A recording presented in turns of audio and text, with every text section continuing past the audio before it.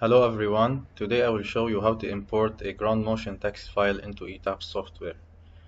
Going to define, functions, time history, and we select here from file.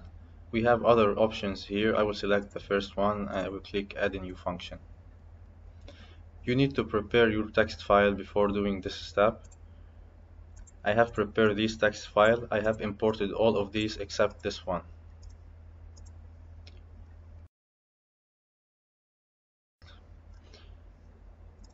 As shown here, we need to know how many lines to skip. We need to skip these lines, therefore we need to skip 5 rows. And here we have the option to select time and function values, uh, or if we have equal intervals, we can use this option. In this text file, I have the time is equally separated by a time step of 0.01 second. Therefore, I will use this one and I will put one here number of points per line I want to read just one point which is the acceleration because here the time is equally separated. And we need to skip 23 column. But keep in mind we have negative values therefore we need to skip 22 I will skip 21 line. And from browse we select the ground motion and we click open and I will convert to user define. I prefer to convert to user define because if the text file is deleted for any reason we don't lose any kind of information of the ground motion record. And as shown here we have this option view response spectrum and these are the spectrum for each ground motion as shown here Actually, each ground motion have its own pseudo-spectral acceleration. This is the response of the ground motion. You can here add maybe a different damping, for example 0.025. And as shown here, the black line is already added. You can delete these, for example. Also, you can export this one by going to File, print data to file. And I will name it for example spectra gm1 okay and okay this is all for this one. And we should go to define load case. Add a new case. We need to choose the type as time history choose acceleration here. U1 mean in the x direction u2 mean in the y direction. I will choose u1 for now. The function is gm1 I will name this gm1 in the x direction. And the scale factor here is gravity because here the acceleration values are divided by g. Therefore we need to multiply again by gravity Regarding the number of output time steps, we should go again to the text file, go to the end of this text file and copy this value which is the total time of the ground motion and divide by the time interval or time step. Actually this is the number of points in the text file. If we put the mouse here as shown we have 32,000 points and you should subtract the first five lines and therefore you will get the same number here. And regarding the last one which is output times step size this is just related to the output of the results. ETABS will provide you for example the results at each 0.1 second. You can make it same as the, the ground motion record but it's not related to the time step used for computing the response. It's just for the results and for the last one modal damping I will specify a constant damping for all modes of 2.5%.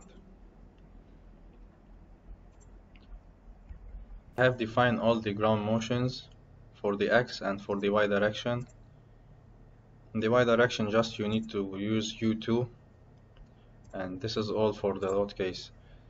And normally when we are dealing with ground motions we need the average response I will define a load combination I will name it mean or average for the x direction. I will select the combination type as range add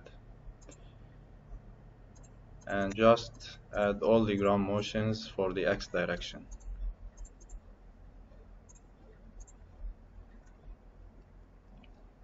Range add sums the maximum response from each ground motion. Therefore, I would say 1 over 6 just to take the average from each one. and in the same way we do it for the y direction we can copy this load combination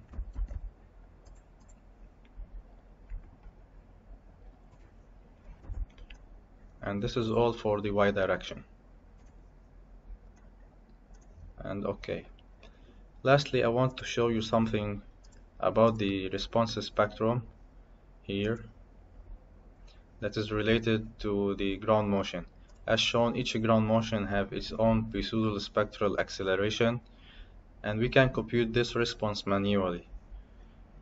Going to Dynamics and Vibration book by Dr. Anil Chopra, chapter number 5. In this section, he shows some numerical techniques to evaluate the response. We need to solve this equation of motion. And here this equation of motion is for inelastic system because the displacement is related to the stiffness.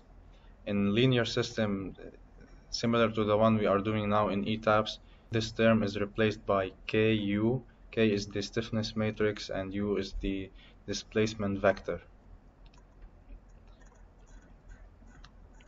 This is the first method, it's called interpolation. We have other methods like central difference method. This is a second numerical method which is based on Taylor series and the third one is called the Newmark method we can use this uh, numerical method to compute the response of the structure actually I'm showing you these methods because I will show you how to develop the response spectrum for each ground motion manually. I will go to this Excel sheet. The pseudo spectral acceleration or the response spectrum acceleration or deformation response spectrum or velocity or any type of thing because as shown here in the equation of motion we have these terms u double dot is the acceleration u dot is the velocity u is the displacement and here the g terms mean the acceleration of the ground motion and what you should know is for a given ground motion the deformation response of a single degree of freedom system depends on the natural frequency and damping ratio.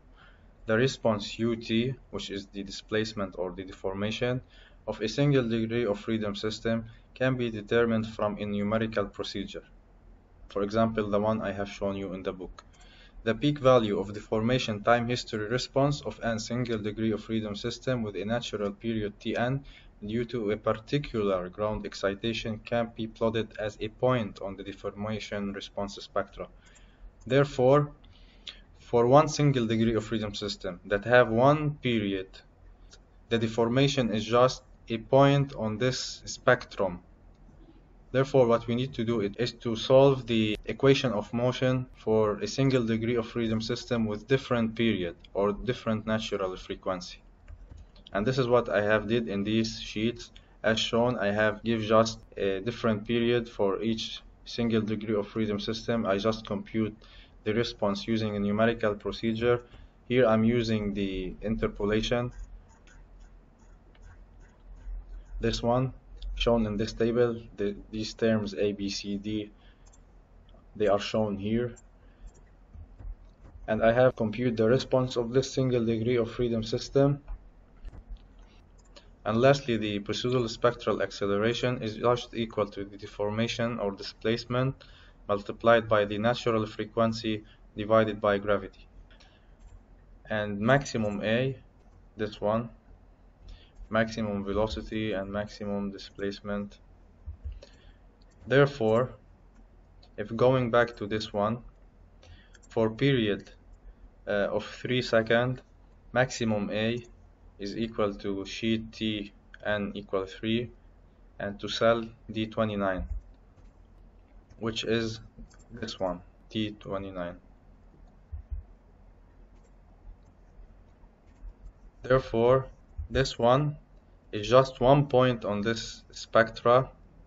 However to obtain this point we need to do all of this. We need to obtain the response of a single degree of freedom system due to a specific ground motion. I'm trying just to give an overview about the meaning of this figure in ETABS software. And I'm showing you this because I'm using consistent ground motion for comparison. Actually these spectra they have the same spectra that I have defined previously from here. As shown here this is the shape of the response spectrum and if I go back to the time function if you click view response spectrum I will define a 2.5% damping because we are using the spectra for a 2.5% damping as shown here. This spectra is just very similar to the response spectrum that I have defined previously. Therefore these ground motions are consistent and compatible to be used for comparison. I want to compare the time history function with the response spectrum analysis. And this is the end of this video and please continue the next one